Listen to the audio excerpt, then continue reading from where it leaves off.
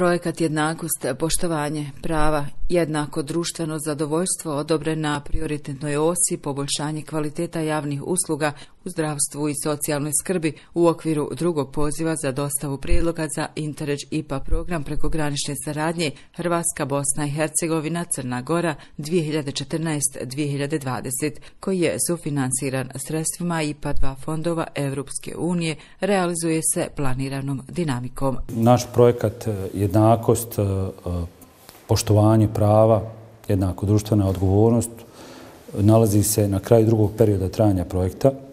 Taj drugi period se zaključuje sa 30. oktobrom ove godine i mi smo procijenili da je potrebno u operativnom smislu se sastanemo sa našim partnerom iz Bosne i Hercegovine da napravimo retrospektivu realizovane aktivnosti. Ja mogu s ponosom konstatovati da sa pozicije Agencije za razvoj opšte Tešenka vodećeg partnera mi ćemo sve planirane i aktivnosti za drugi planski period realizovati potpunost. Direktor Centra za djecu i odrasle osobe s poteškoćama u razvoju Zeničko-Dobojskog kantona na sastanku je informisao predstavnike Tešenske razvojne agencije o realiziranim aktivnostima centra, naglasivši da su iste završene u planiranom roku, a urađene su i potrebne pripreme za planiranu javnu nabavku informatičke opreme za ovaj centar. Juče smo, hvala Bogu, potpisali ugovor sa dobavljačem koji će nam raditi elektronsku bazu podataka na nivou Zeničko-Dobojskog kantona djece sa posebnim potrebama. Čekamo da se, evo, da nam dođu ponude što se tiče nabavke CNC mašina. To bi trebalo sutra da dođe, da otvorimo, da vidimo i nadamo se da ćemo do kraja ovog mjeseca završiti taj proces nabavke. Iz Tešenske razvojne agencije kažu da su zadovoljni realizacijom planskih aktivnosti u prva dva kvartala. Određene aktivnosti su već završene, a neke druge se privode kraju.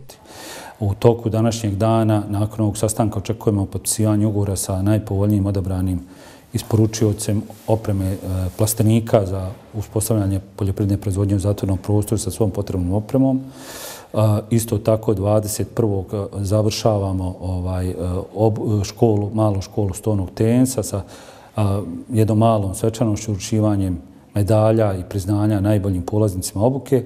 Na taj način mi smo zaokružili sve aktivnosti u okviru drugog perioda. Ono što posebno želim ovom prilikom još istaknuti, to je specializovana oprema za određivanje kvaliteta zemljišća određenih parametara koja će biti isporučena 25. oktobra i bit će spremna za e, početak uspostavljanja poljoprivredne proizvodnje u doniranim plastenicima. Na sastanku su prezentovani planovi i obaveze za naredni period, kao i posjeta partnerskim organizacijama. Razgovarat ćemo i o posjeti ovaj, partnerima u Hrvatskoj i o posjeti jednoj, e, e, odnosno u Sloveniji u jednom centru koji je, evo da kažemo, razbio određene ovaj radnje, alate i sve ostalo ono što mi što je nama jako značajno kad je u pitanju djeca s posebnim potrebama.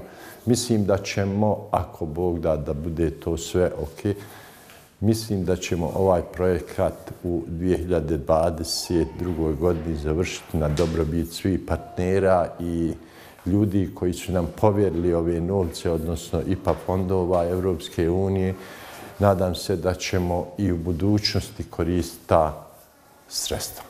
Direktor Alagić naglasio je kako se radi na pripremi planskih aktivnosti za naredni period. Ono što je značajno, Agencija za razdošće Tešniću već u 11. mjesecu krenuti s aktivnostima na školi plesa. Tu nas čeka naredni sastanak projektnog tima kojim trebalo biti domaćin naš partner iz Republike Hrvatske i studijska posjeta jednoj renomiranoj instituciji na području Evropske unije koja se bavi segmentom socijalne zaštite.